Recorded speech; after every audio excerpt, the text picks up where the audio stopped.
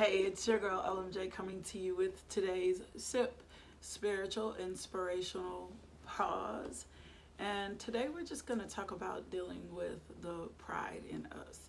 Or, as I'm saying, how do I deal with the pride in me? How do I overcome the pride in me? And this is based on uh, just a scripture I was meditating, a couple of things I was meditating on this morning. James 4 and 6 says, But he gives more grace, right?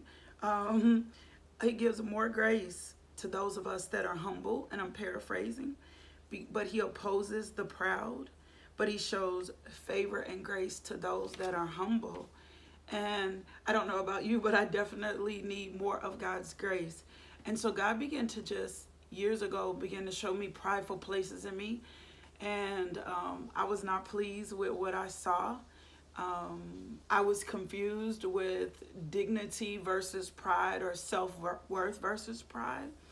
And God's will for us is that whatever begins in us, it starts and it's dealt with in our spirit. So let's just talk just a little bit about what pride does.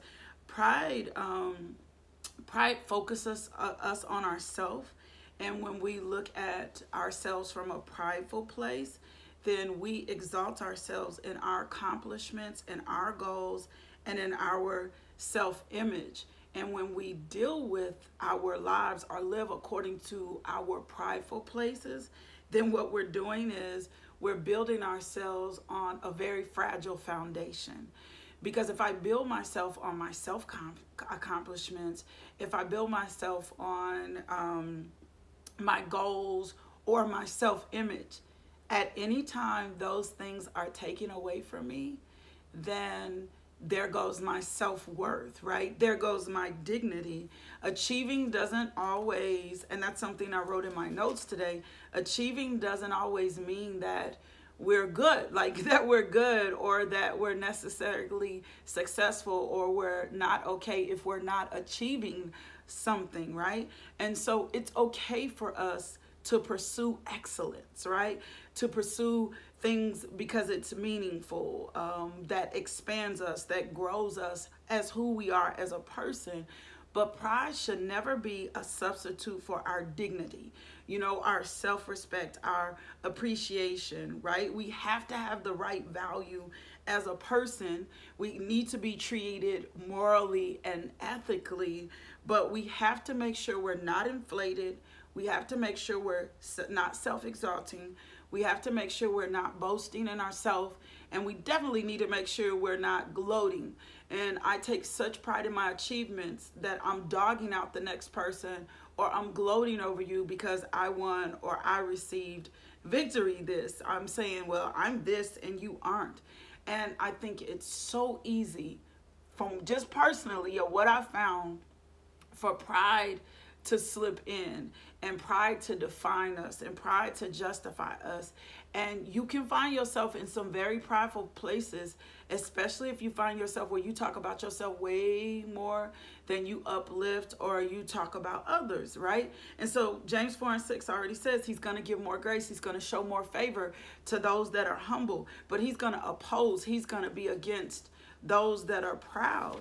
And for me, another part of this was meditating on the scripture, John 12 and 32.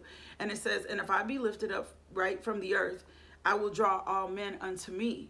And I started meditating and digging and eating that part. Well, if my focus is on the death, the burial, and the resurrection of Jesus Christ, and what he has said my assignment is on this earth, then it removes this thing from me of being too prideful because Christ becomes my center. His assignment becomes my center.